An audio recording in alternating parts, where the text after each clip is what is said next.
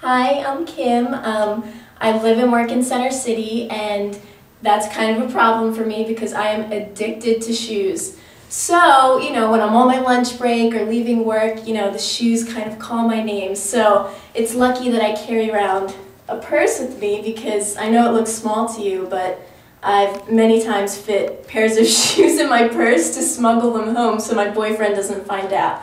Um, I actually take them all out of the boxes. I throw all the tags out. I throw the receipts out. Anything so that he does not know that I'm taking more shoes home.